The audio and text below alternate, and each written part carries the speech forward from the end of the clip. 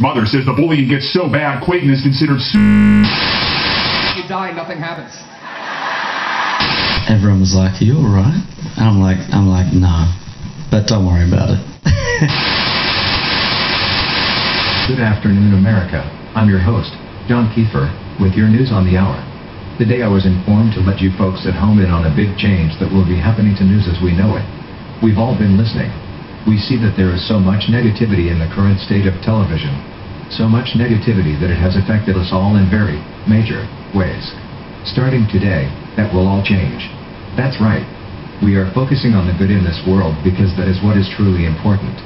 Any events such as death, crime, politics, terrorism, or missing children will not be covered here, or at any other television station in the United States. It will simply be left unknown. It's up to you now, America. You for listening in today, and I'll see you again tomorrow, on the hour.